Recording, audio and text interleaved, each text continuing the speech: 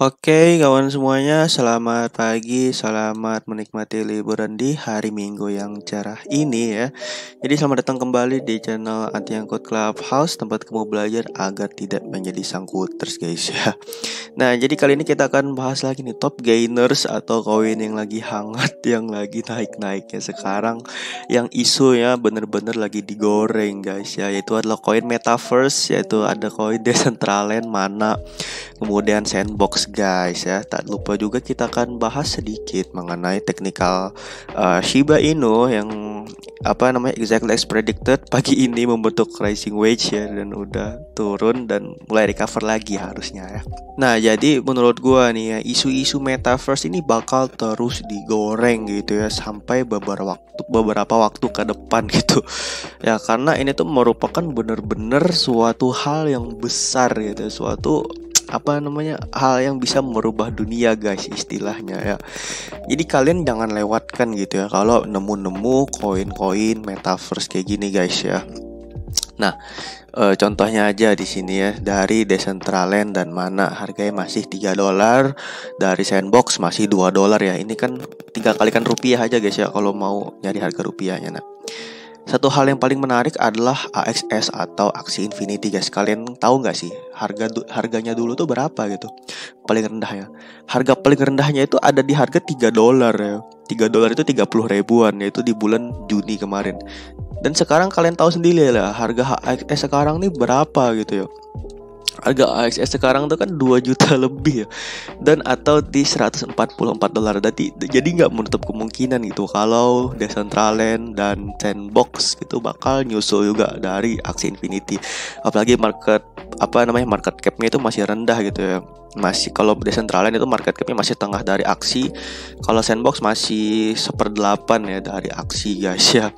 Nah jadi untuk di posisi sekarang buat teman-teman gak usah FOMO ya kalau ngelihat uh, market metaverse yang lagi ngepom-pom kayak gini. Yakin aja suatu saat uh, beberapa beberapa beberapa waktu lagi pasti akan terjadi titik koreksi gitu ya. Sebagus, apa pun koin itu ya pasti akan terjadi koreksi ya. Sekuat apa pun komunitasnya kayak Shiba Inu pasti juga akan terjadi koreksi. Ini aja AXS terjadi banyak sekali koreksi guys. Satu, dua, tiga, hmm, empat ya dalam dia mencapai titik ATH itu selalu dibarengi dengan penurunan harga atau koreksinya. Nah, ini dari mana sama sandbox belum kelihatan aja nih koreksinya. Ya. Jadi uh, jadi gak usah FOMO ya, gak usah apa namanya ngerush, gak usah maksa buat masuk ya.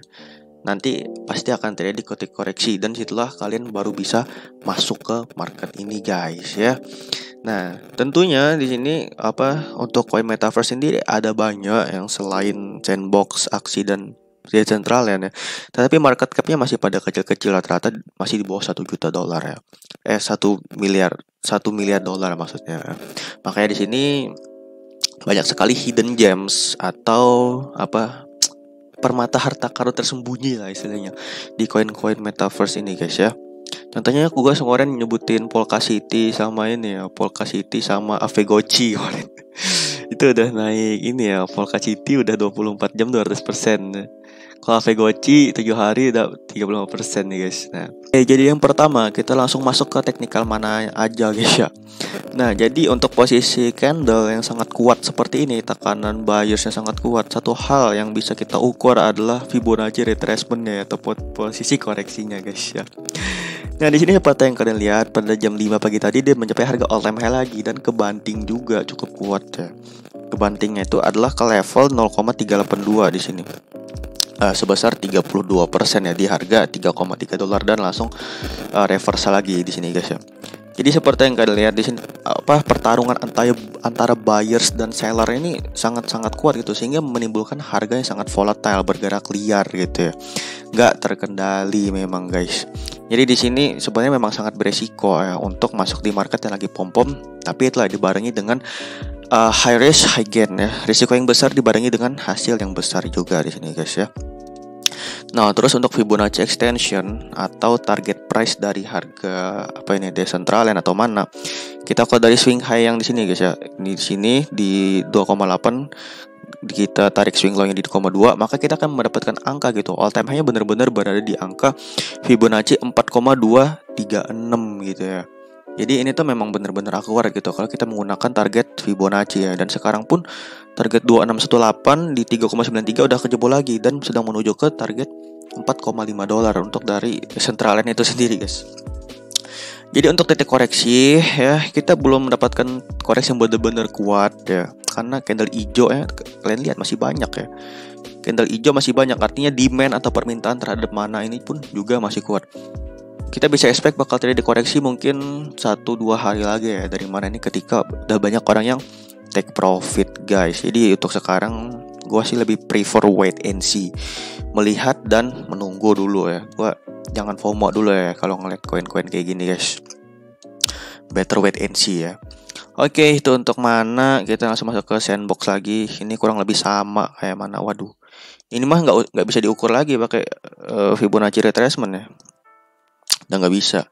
Kita cuma bisa pakai extension karena ATH nya udah ketembus berarti kita ukur dari sini ya.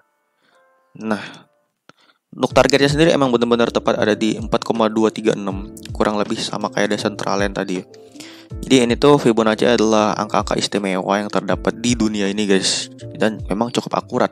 Selain di saham di finansial juga berlaku untuk kesenian anggota tubuh semuanya menggunakan rasio Fibonacci ini guys ya Nah, jadi untuk apa namanya sandbox juga ini masih kuat tekanan buyersnya. Ya dari pembeli juga masih sangat mendominasi demandnya sangat kuat. Kita belum melihat adanya titik koreksi atau pelemahan harga. Kita bisa expect juga terjadi satu dua dua hari ke depan ketika udah banyak yang take profit yang ngebeli di bawah harga 1,5 dolar ini. Kan siapa sih yang nggak mau take profit yang nggak mau ambil keuntungannya? Kecuali holdersnya emang bener-bener mau ngehold dari market sandbox ini ya dengan potensi metaverse ke depannya. Ya ini tuh selain apa namanya retail yang masuk juga pastilah digoreng bandar. Bandar atau institusi yang FOMO atau fear of missing out. Itu efeknya ya kayak gini seperti yang kalian lihat. Ya menimbulkan apa kenaikan harga yang sangat gila-gilaan ya Oh ya terus untuk koin Oh iya itu guys ya analisa kita mengenai koin sen Selanjutnya kita boleh singgung-singgung nih mengenai TLM ya yang sempat gua share di grup Telegram ya. sempat gua apa namanya jadi sales TLM ya di Telegram.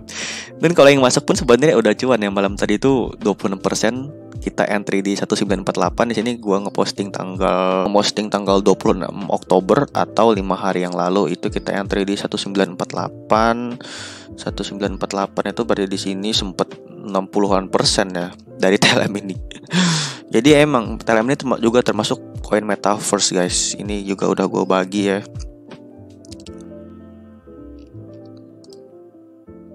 Nah di sini Alien Worlds atau TLM uh, ber, berbasis platform decentralized metaverse ya, dan beroperasi di jaringan Ethereum, Wax, and Binance Smart Chain.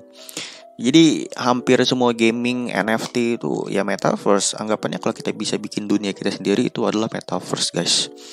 So di sini untuk potensi ke metaverse masih banyak. Ntar aja ya gue share lagi mengenai koin mana yang paling potensial lah ya untuk di stok ya. Oke, okay, jadi itu untuk koin metaverse next uh, the last one is the our ship. Our Shiba Inu guys ya anjing kita yang paling tercinta di sini. Kita kalian lihat di sini untuk Shiba ternyata itu kan udah break sebenarnya kemarin ya. Nah ternyata dia membentuk uh, ascending triangle yang lebih panjang di sini ya. Untuk frame satu jamnya dia emang mau bermain-main lebih panjang lagi di dalam segitiganya ini guys ya. Dan kalau kita lihat apa namanya elite wave-nya sekarang lagi ada di wave C ya. Setelah kemarin untuk rising wedge yang garis ini guys, garis putih menghadap ke atas ini ini adalah rising wedge. Ini adalah bisa merupakan pola reversal, bisa merupakan pola continuation ya dan ternyata ini adalah reversal karena dia benar-benar ke reject di 7600 ya. Kenapa ke reject Bang? Karena di sini banyak yang jualan, banyak yang take profit, banyak yang ngambil keuntungan di sini hingga harganya nggak bisa melanjutkan kenaikan lagi ya. Dan sedang mencari posisi di mana uh, titik serok itu paling mungkin ya yaitu ada di 6000 di sini titik support quote-nya harusnya di sini ketika dia nyentuh wave C ya dia langsung nyentuh lagi ke wave D nya di sini wave D. Ya.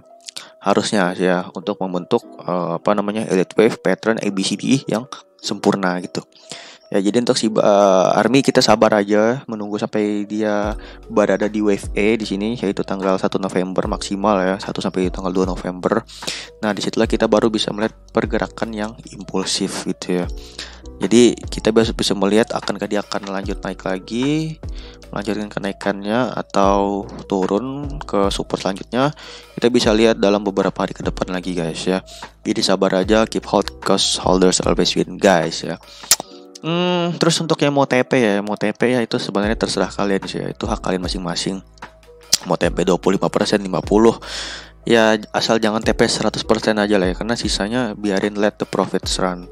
Ya karena potensinya juga masih besar ya jadi beberapa persen aja lah ya dari portofolio guys ya. Nah oke okay, jadi itu untuk si Bainu guys. Eh, selanjutnya kita akan update lagi in the next video ya. Jadi see you next video guys. Bye bye